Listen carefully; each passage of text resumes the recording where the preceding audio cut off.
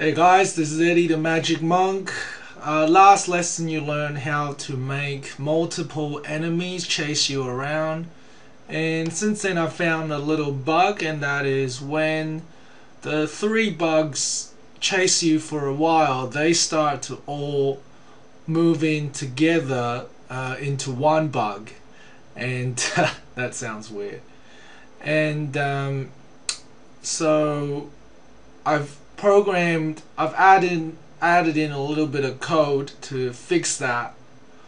Uh, basically what happens is when the bugs are colliding with each other they will bounce off each other now in my new in my new program. So if you have a look so what happens is uh, I've also made the objects a bit smaller so when the bugs come together, you can see they don't come on top of each other. They stay apart, right, as three bugs. And so I'm running around chasing down my um, blue gem. And uh, so you can see that the three bugs, they don't come together as one bug. They stay separated. So uh, that's the improvement that I've made to my new program and you might say oh well what is that? That's hardly anything. But that actually took me a while to program so I'll show you guys how I did that. Um, or if you want to program that yourself first and see if you can get that out without looking at my answers. Um, so basically what I did was I created a bounce off function which I'm going to call later so the bounce off function has two input variables, object 1, object 2, both by ref.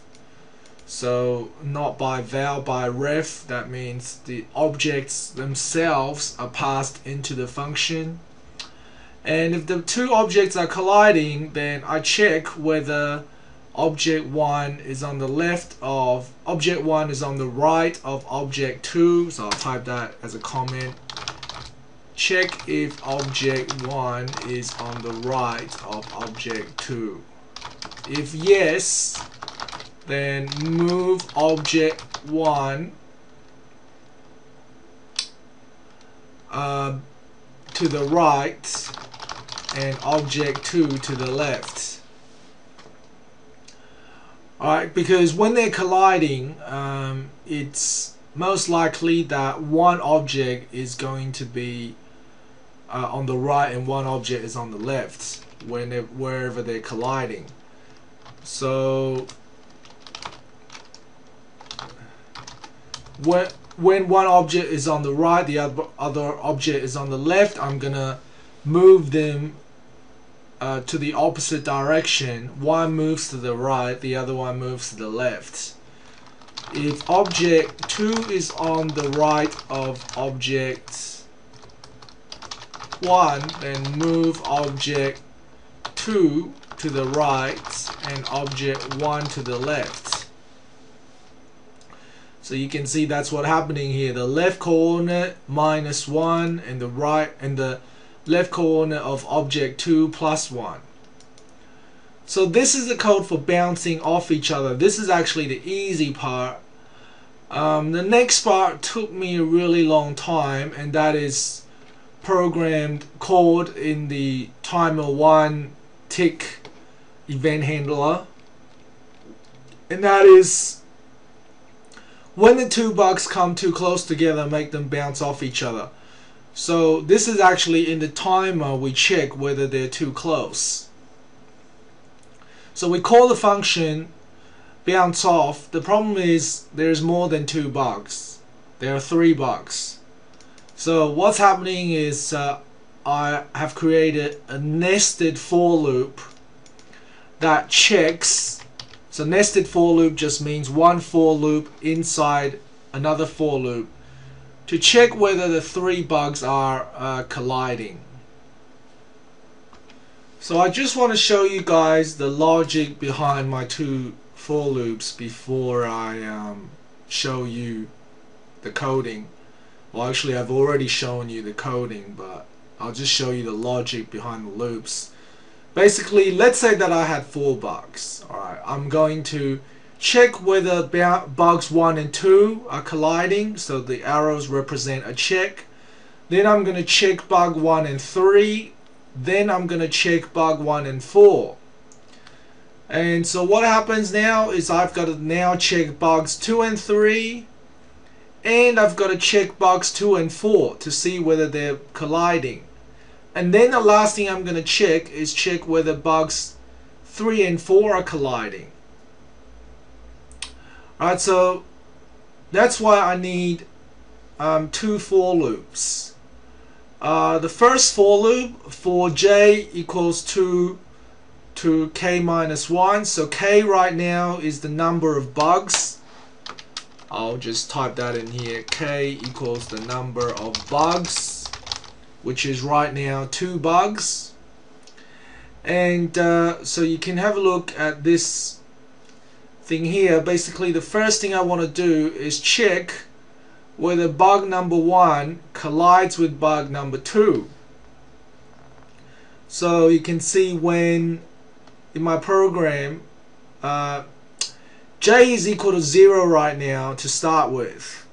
So that's going to be my first bug. Actually, I'm going to change the numbering here to match the programming. So I have bug number uh, zero first. So that's zero, one, two, three. So I'm going to check whether bug zero collides with bug number one.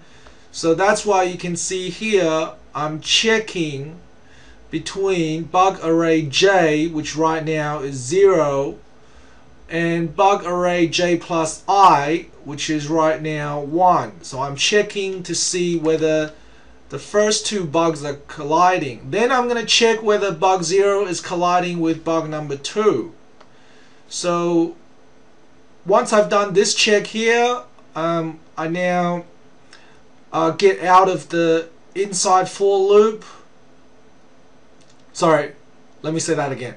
Once I have done this, once it's done this pro, once it's done this command here, it's then gonna go from i is equal to 1 to the next number which is i is equal to 2 so we're now going to check whether bug j which is right now still 0 because the inside for loop is still running so it's going to check whether bug j which is the zeroth bug collides with bug array j plus i which is right now 2 because we've already we've just done 1 so it's going to check whether this bug here is colliding with this bug.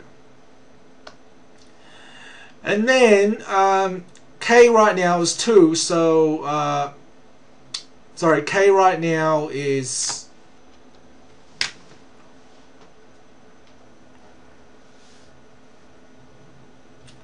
So K right now was uh, it was one to start off, so we checked between zero, bug zero, bug one, and then we plus one to the variable i, so it's going to check between bug one and bug two.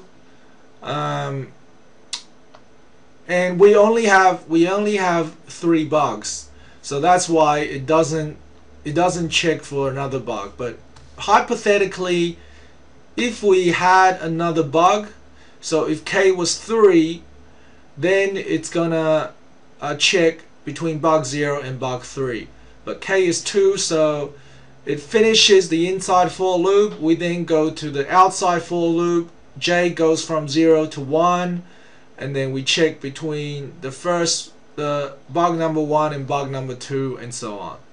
And notice I have an if statement here saying if i plus j is smaller than or equal to k right? Because the point of that is we don't want to check between bug.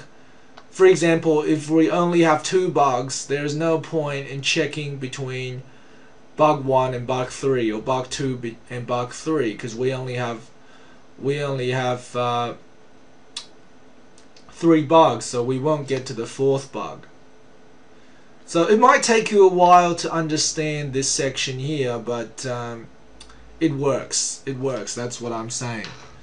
So uh, try to figure that out yourself. Um, you should be able to get it now just from looking at these two sections of code. We have the the uh, nested for loops as well as the new function bounce off. So uh, see if you see if you can figure that out.